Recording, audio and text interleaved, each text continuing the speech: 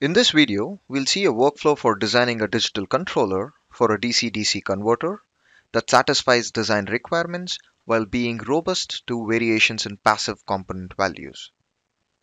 More specifically, we'll look at how to tune our controller for a SEPIC circuit such that it meets the voltage step response requirements even when the passive component values of the circuit vary outside the nominal values.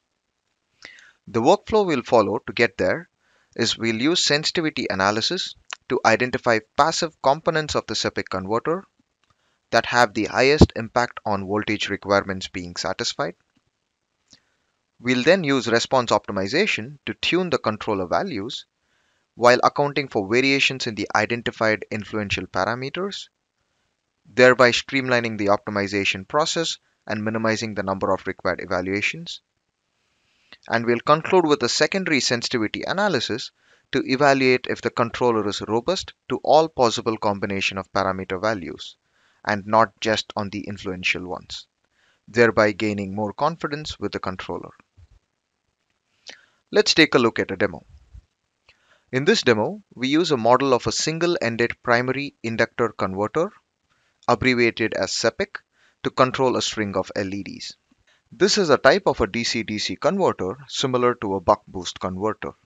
The output voltage of the converter is controlled by the duty cycle of the control switch, and in this case, it is controlled such that the voltage at the output is higher than the supplied voltage.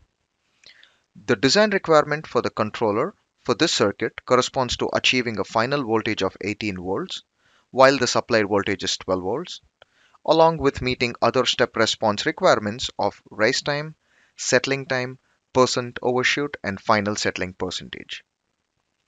All of these requirements are captured and indicated by the solid black lines in the check step response characteristics block. In this case, we already have an initial PI controller that was tuned for the nominal values of the circuit components. Let's run the simulation with the nominal values.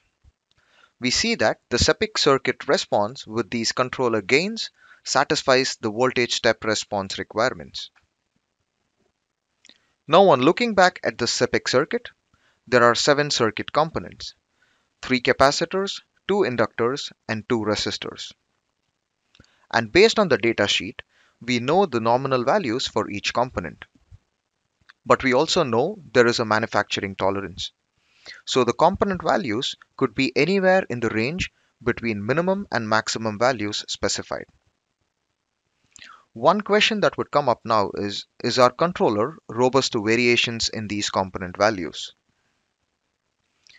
To analyze if a controller is robust to these variations, we can use sensitivity analysis. Let's now set up a model for sensitivity analysis. To do so, we open the Sensitivity Analyzer app, which is available as part of the Simulink Design Optimization product. In the app, we click on Select Parameters and select the variables of interest. In this case, the variables are all the circuit components that can vary. In addition to these components, we also add the load resistance, which we vary between 50 to 350 ohms. Next, we specify how to generate values for these parameters. For this, we click on Generate Random Values, set the number of samples to 100, specify the preferred sampling method, and then specify the lower and upper bounds for each component as specified in the datasheet. Additionally, you can also specify the probability of occurrence of component values within their range by selecting the appropriate type of distribution from an array of options. Clicking OK will now generate the sample values. Finally, we'll specify the design requirement. That is, the requirement against which a controller will be evaluated for all the generated sample values. Here, we'll select step response envelope requirement and enter the desired step response characteristics that we saw earlier. Now to associate the signal from our Simulink model to this requirement, we'll click on the plus icon and click on the output of the SEPIC converter circuit. The signal which represents the output voltage of the circuit is now associated with this requirement and we are ready to evaluate our controller. On evaluating the model, we see that majority of the parameter values tested satisfy the requirements. This is indicated by a zero or a negative value of the step response envelope. However, there are some sets of parameter values tested which do not satisfy the requirements. These are indicated by a positive value. This indicates that our controller should be tuned further to account for these parameter variations. The question now would be how to tune a controller to account for these variations. This is where response optimization comes in. Now there are a couple of approaches you can take to tune your controller. You can either perform a full optimization by considering all 8 uncertain variables, which would take a considerable amount of time and model evaluations, or identify the parameters that have the highest impact on the voltage requirements being satisfied, and then consider those as uncertain variables during optimization. We'll pick the second approach. To identify the influential parameters, back in the Sensitivity Analyzer app, select the Statistics tab, select Correlation and Standardized Regression for methods, and Linear and Ranked for types, and then click on Compute Statistics. A tornado plot shows up. We can see that the output capacitor C4C5 is the most influential, followed by the load resistor. This follows our intuition as well, since the output capacitor maintains the voltage for the load, it is expected to be the most influential component. With sensitivity analysis, we not only evaluated our controller for robustness, but identified the most influential parameters to consider for optimization. Now let's jump into optimization for tuning the controller values. To do so, we can click on Optimize and create Response Optimization session in the Sensitivity Analyzer app. This would initiate a handoff to the Response Optimizer app, where you can select requirements and parameters to be imported directly into the session. For this case, let's select the step response envelope to be imported and click OK to create a Response Optimizer session. Next, we add the design variables to tune by clicking on the drop-down next to the design variable set and selecting new. Here, let's select the PI gains KP and KI as our design variables. We'll follow similar steps to create the uncertain variable set. In the Create Uncertain Variable Set dialog, only select the capacitor C4C5 and the load resistor as uncertain variables, as these were the most influential parameters and define the maximum and minimum values for these parameters. Then select minimum and maximum combinations only as the sampling method.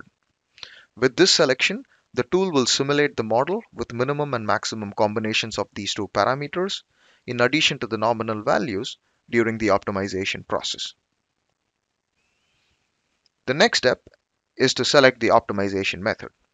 Here, we'll select pattern search as our optimization solver, considering that our problem is non-smooth. But as you can see, there are other optimization methods available as well, which you can select depending on the problem you are solving. With the step response requirement already loaded, we can now optimize the controller gains while considering uncertain variables.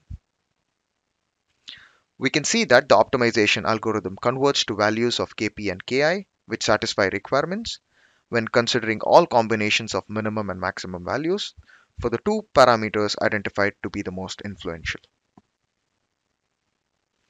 In this demo, we used optimization to tune controller values, but by using the same approach, you can use response optimization to optimize any plant parameters, such as circuit components, or jointly optimize controller and plant parameters to achieve a certain objective. Now that we have our tuned Kp and Ki values, we can perform another sensitivity analysis to determine if these gain values are robust to all the parameter value uncertainties and not just to the two influential parameters that were considered. To do so, we'll reopen the sensitivity analyzer session, select generate values dropdown and click on generate gridded values. Here, in addition to the 100 random points tested previously, we can include every combination of minimum and maximum values for all 8 parameters. Click on Append to add these combinations to the set. Now on evaluating the model, we see that all the parameter values tested satisfy the requirements. This is indicated by a zero or negative value of the step response envelope.